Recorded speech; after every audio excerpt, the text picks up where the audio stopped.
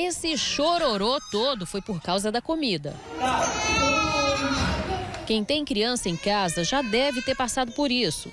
Recusa para comer, birra, inquietude e muito choro. A hora da refeição pode virar um pesadelo para pais e filhos. E a história se repete fora de casa, na creche, na escola, na casa de parentes. Com o Arthur foi assim.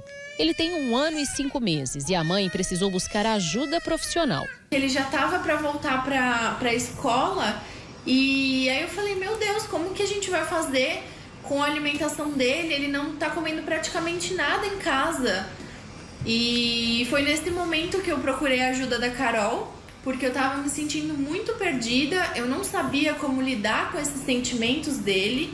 Esse bebezinho comilão é o Caio.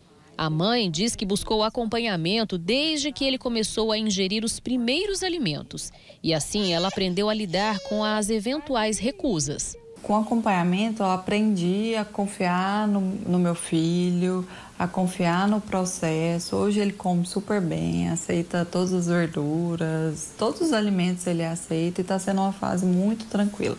Nada de briga, punição, broncas ou castigos. O ideal é desde cedo oferecer uma variedade de opções para a criança experimentar e tornar o momento da alimentação mais leve, onde ela possa interagir, aprender e se sentir bem. Também não adianta fazer chantagem ou negociar a comida saudável em troca de guloseimas. A gente tem que melhorar a rotina da criança, né, tirar toda a pressão do momento da refeição, porque a, a experiência da alimentação não é uma obrigação.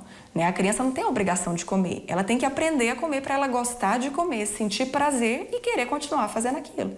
Né? Então é tudo em torno desse aprendizado na alimentação. Se ela aprendeu a comer, ela vai comer.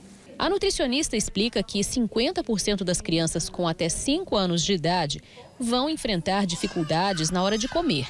E mais de um terço delas vai ter problemas que precisam ser tratados, como refluxos, intolerância, alergias, por exemplo, que afetam na alimentação. As dificuldades alimentares, elas são só a pontinha do iceberg. A gente vê a criança recusando a comida. De, por baixo ali daquele iceberg, a gente consegue ver da pontinha do iceberg, a gente vê ou uma, um refluxo oculto, né? A criança ela sente dor, ela não consegue comer porque ela sente dor e ela associa essa dor com o ato de comer. Então ela prefere deixar de comer. A nutricionista Ana Carolina é mãe de duas meninas. A mais nova também teve seus momentos difíceis na alimentação, mas eles foram contornados com estratégias simples e muita paciência. Você aprendeu a gostar do feijão?